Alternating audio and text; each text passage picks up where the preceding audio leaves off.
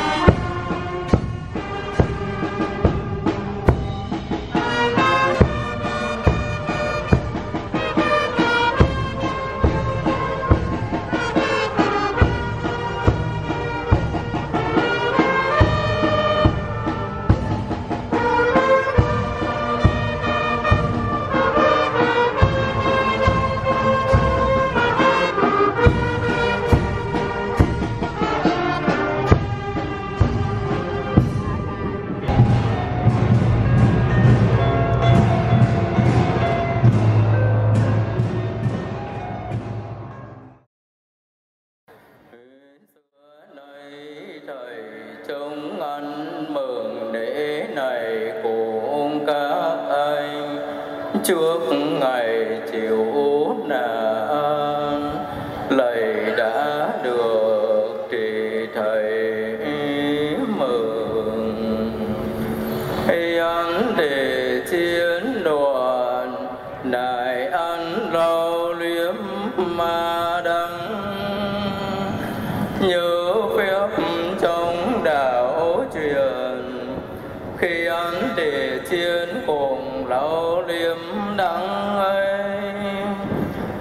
do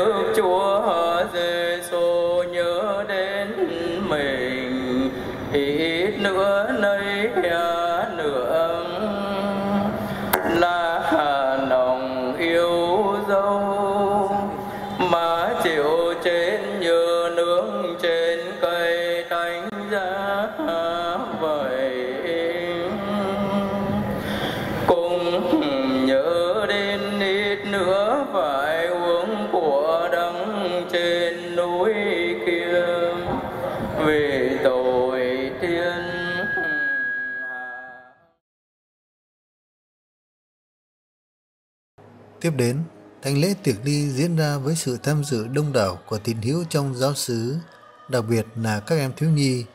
Thứ năm tuần thánh có các nghi thức đặc biệt sẽ để lại nhiều dấu ấn trong cuộc sống đức tin của các em. Mở đầu thánh lễ, cha chủ tế chia sẻ ý nghĩa những nghi thức diễn ra trước và trong thánh lễ tiệc ni. nhân danh cha và con và thánh thần chúa cùng anh chị em.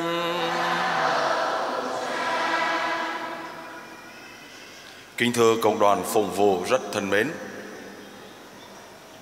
chúng ta vừa cùng nhau diễn lại ý nghĩa của chiên vượt qua. Đây là bữa tiệc rất quan trọng của người Do Thái. Vì chính nhờ máu chiên bôi trên các cửa nhà mình mà Đức Chúa đã giải thoát dân Israel ra khỏi Ai Cập. Có thể nói chúng ta đã sống lại một giai đoạn lịch sử rất quan trọng trong lịch sử cứu độ. Để rồi, với nghi thức rước chiên, chúng ta nhớ lại biến cố mà Chúa đã cứu dân Israel ra khỏi Ai Cập để bước vào một cuộc vượt ca mối đó chính là Tam Nhật Thánh mà chúng ta sẽ cùng với toàn thể giáo hội cử hành trong ba ngày. Hôm nay thứ năm, ngày mai thứ sáu và thứ bảy. Chúa Giêsu chính là chiên vượt qua cứu chúng ta khỏi ách nô lệ của tội lỗi. Vì vậy trong thánh lễ hôm nay chúng ta sẽ thấy Ngài quỳ xuống để rửa chân cho các môn đệ của mình. Để Ngài nhắn gửi các môn đệ vào chúng ta ngày hôm nay, Anh em hãy rửa chân cho nhau.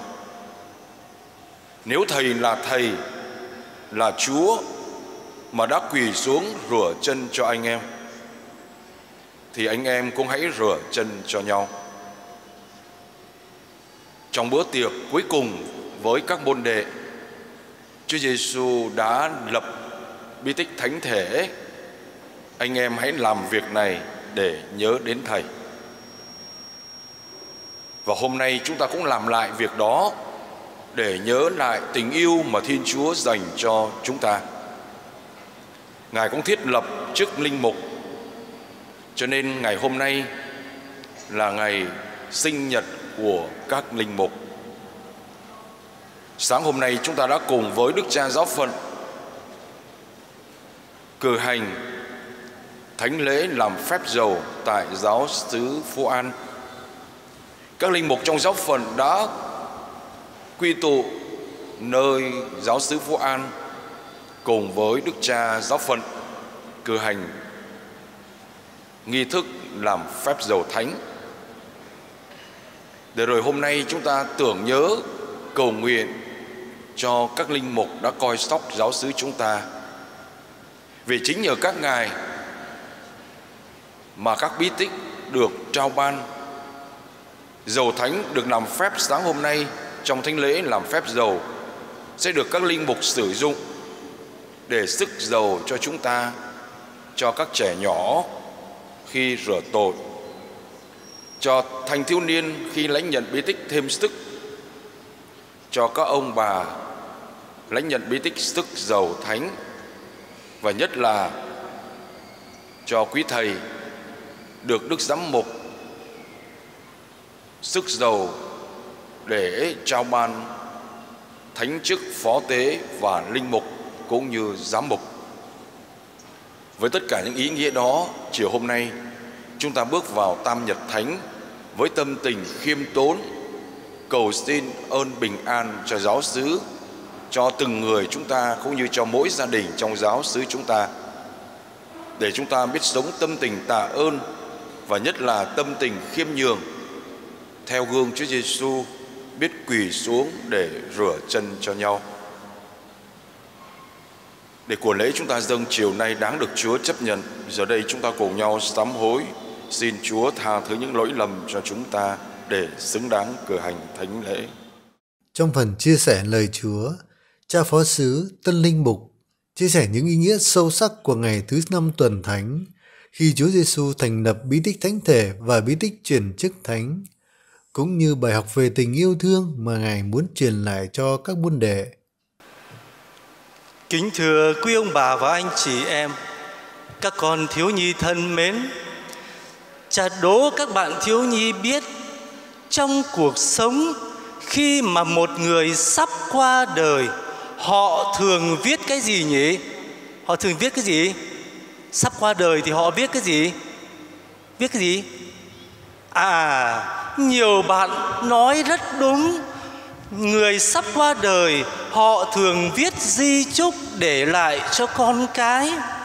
Di chúc ấy nói nên ước nguyện, lời nhắn nhủ hay lệnh truyền của người sắp ra đi và Chúa Giêsu cũng vậy trước ngày chịu chết để cứu độ nhân loại ngài cũng chối lại cho các môn đệ một di chúc và di chúc ấy gói trọn tình yêu thương của ngài. Tuy nhiên di chúc của chúa giêsu không phải những, những dòng chữ viết mà là những mầu nhiệm chúng ta sẽ tưởng niệm trong thánh lễ tiệc ly hôm nay đó là bí tích thánh thể đó là thiên chức linh mục và bài học yêu thương phục vụ mà Chúa Giêsu muốn dạy cho các môn đệ. Tiếp đến, chúng ta sẽ được chứng kiến hình ảnh đầy cảm mến của cha quản hạt chánh xứ đền thánh từ đạo quần phương rửa chân cho các cụ cao niên, đại diện cho gia dân của bảy giáo họ thuộc giáo xứ. Hình ảnh này gợi nhớ đến bài học về tình yêu thương mà Chúa Giêsu từng dạy các môn đệ cùng với tiếng hát của ca đoàn Teresa đền thánh quần phương, không khí trong nhà thờ trở nên linh thiêng và đầy ân sủng.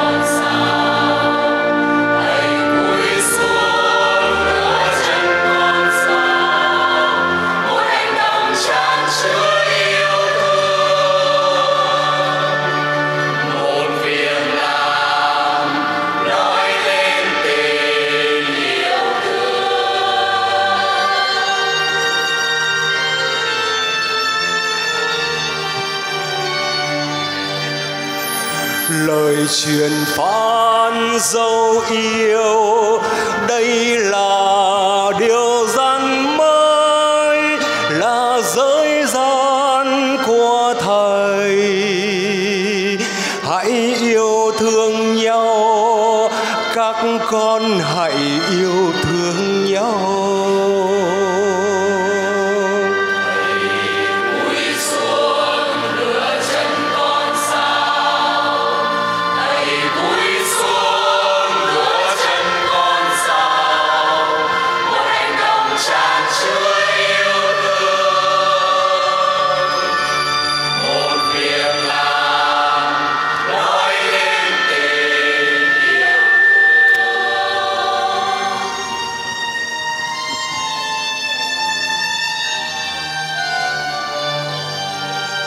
Người ta cứ dấu này mà nhận biết.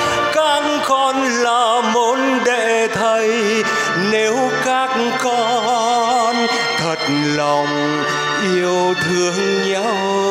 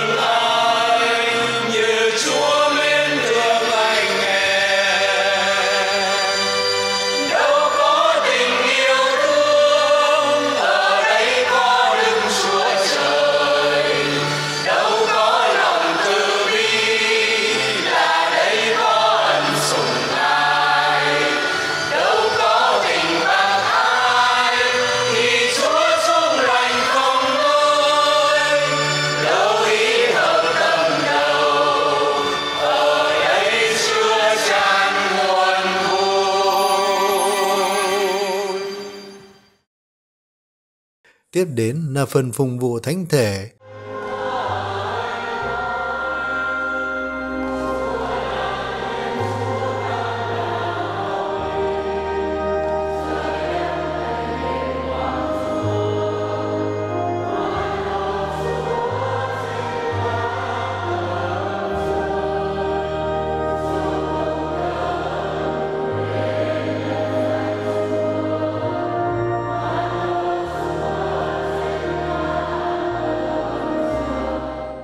Sau cùng là phần cung nghinh mình thánh chúa sang nhà tạm để thực hiện các giờ chầu mình thánh đến giữa đêm. Đây là lúc Chúa Giêsu xưa cầu nguyện trong vườn cây dầu trước khi bước vào cuộc khổ nạn để cứu chuộc nhân loại. Chúa đã dìu dân riêng, từng vượt thoát ra khỏi sa mạc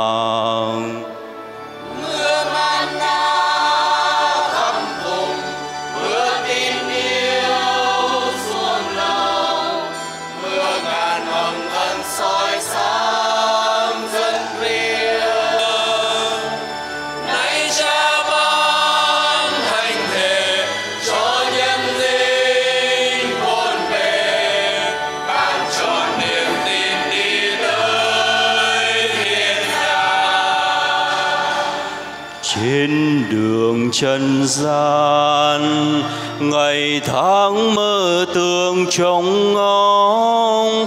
Chúa hằng ở bên con, hằng bồi dưỡng của ăn đầy hồn.